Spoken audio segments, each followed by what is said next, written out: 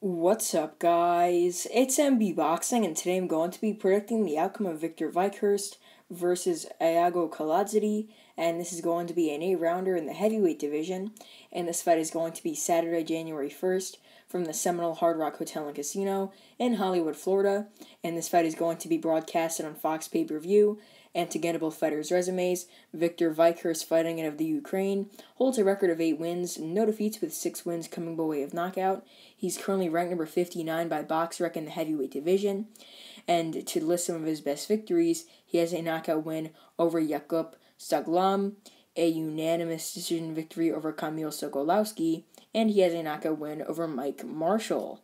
And to get his opponent's resume, Iago Kiladze fighting out of Georgia holds a record of 27 wins, 5 defeats, and 1 draw, with 19 wins coming by way of knockout.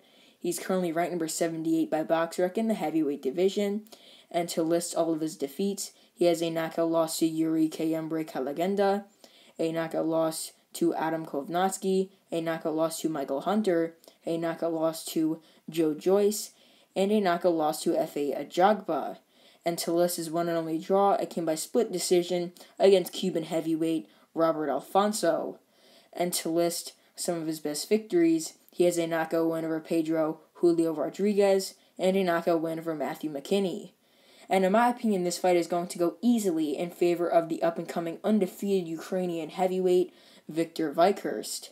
I mean, Vykhryst, I mean, from what I've seen, He's very powerful, very well skilled, well balanced fighter, and I mean he's very um very experienced. I mean in the amateurs he had a lot of fights, fought in the World Series of Boxing, and um yeah he's just a very um experienced fighter just overall. But you have to remember amateur fights are only three rounds. But here, I mean, he's definitely stepping up a bit, um, taking on Kiladze. Kiladze, I mean, he's a fighter who's been around. I mean, been at cruiserweight, been at heavyweight. He's fought a lot of very good fighters. I mean, all of his losses are to very good fighters. Um, even at cruiserweight when he lost to Kalenga, he that's still a very good fighter. And um, I mean, I mean, w- from what you heard from when I listed his losses at heavyweight, I mean, he's fought all of these guys: Kownacki, Hunter, Joyce, Ajagba, and he's won some rounds with all of them. I mean, I believe he went like five with Kownacki, like five with Hunter, like five with Joyce. Like he won like five or six rounds with like all of them. I believe so, somewhere around there. Uh, so um yeah, I mean he's he normally goes around a bit of rounds with them before getting stopped, and I think the same is going to happen here. I just think that Vykhryst is just going to be too strong, like all of Iago Kiladze's other losses. Kiladze not known for having the best chin, and I mean Vykhryst's power. So I mean when those two things mi- when those when those two things mix mix, um, it doesn't really end up well for the guy with the bad chin.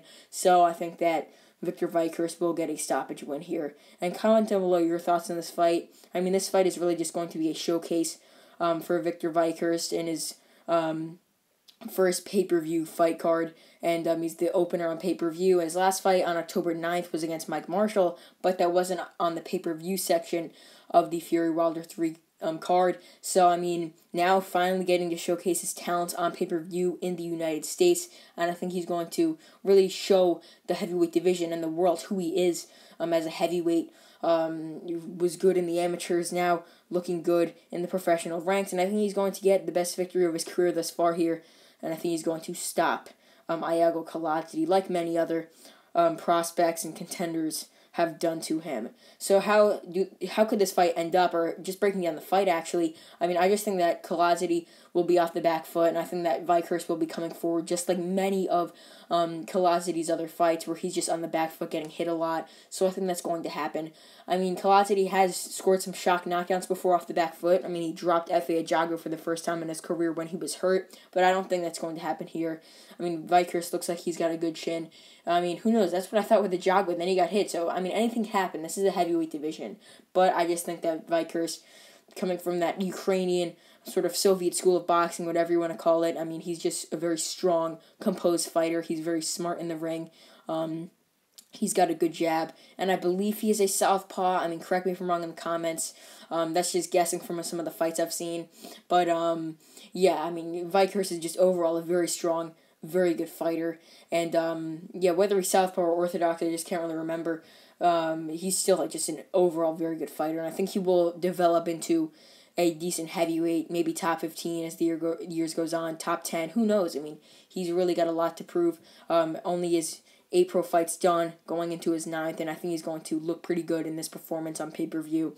And um, I think he's going to be the one coming forward, dictating the pace, landing his jab, laying his right hand, um, left or right hand, whatever. And um, I think he's going to just be landing more shots and just overall just dictating this fight and winning pretty easily up until like he drops Kiladze, um, stops him standing, anything like that. Like drops him multiple times, referee waves it off, a, a, corner throwing in the towel, anything like that. Just overall, it'll just be a knockout or stoppage win for um, Viktor Vykhryst, and it will be a good one, in fact, and I think he will look very good on pay per view. And comment down below your thoughts on Viktor Vykhryst um, on him as a prospect, who you think he's going to fight in the near future, where you think he's going to go, champion, top contender, etc. Because I think he's going to go pretty far um, in this heavyweight division, and he's really just moving up fast now in his first pay per view card. Um, fighting a decent fighter, and I think he's going to get the stoppage win. So overall, I believe that Viktor Vykhryst will defeat Iago Kiladze by knockout to get his ninth victory, seventh by knockout, and I believe that the stoppage will happen from rounds four to round 8. And uh, yeah, that's really it. I'm MB Boxing. Thanks for watching, and I'll see you guys later.